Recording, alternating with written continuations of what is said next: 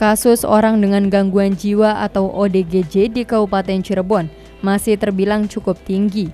Mengingat data tahun 2022 terdapat 2.906 kasus, sementara hingga triwulan ketiga di tahun 2023 sebanyak 2.488 kasus. Masih tingginya kasus ODGJ menjadi permasalahan dan sekaligus tantangan dalam pembangunan sumber daya manusia di Kabupaten Cirebon. Pengelolaan yang baik dengan melibatkan berbagai unsur teknis dan strategi dibutuhkan dalam memberikan perawatan kesehatan mental dengan salah satunya menyediakan kebijakan dalam membantu pelaksanaan kegiatan kesehatan jiwa masyarakat.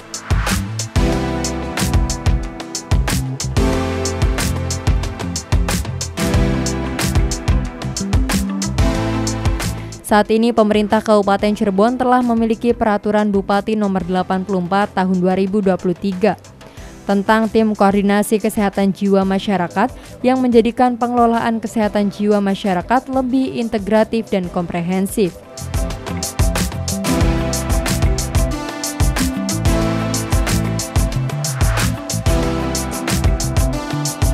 Perbub tersebut ditindaklanjuti oleh Dinas Kesehatan dengan membuat gerakan bersama menuju sehat melalui program ceria atau cerdas, empati, rajin, interaksi, dan asah asih asuh dalam menumbuh kembangkan keluarga dan masyarakat.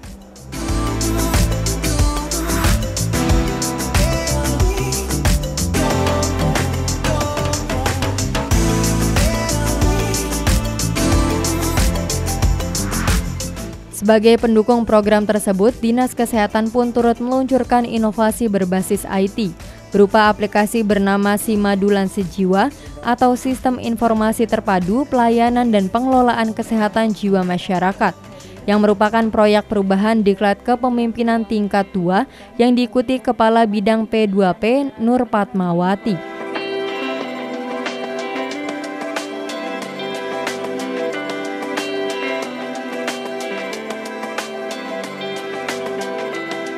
Pengukuhan Tim Koordinasi Kesehatan Jiwa Masyarakat atau Tim TKKJM pun dilakukan sebagai bentuk keseriusan dan komitmen dalam memberikan layanan tersebut. Ya, dengan adanya eh, dengan eh, setelah dikukuhkan tim eh, koordinasi kesehatan jiwa masyarakat ini, kami berharap mudah-mudahan orang dengan gangguan jiwa berat yang selama ini belum mendapatkan akses pelayanan kesehatan tentunya akan memudahkan untuk mendapatkan akses pelayanan semakin cepat uh, semakin cepat juga untuk sembuhnya. Kerjanya uh, tim uh, eh, PKKJM mulai dari tingkat kabupaten, nanti ada di tingkat kecamatan. Tentunya di tingkat kecamatan itu uh, puskesmas berkoordinasi dengan kecamatan, dengan desa, dengan polsek, terus dengan dan ramil gitu terkait kepada manakala menemukan kasus uh, orang dengan gangguan uh, jiwa.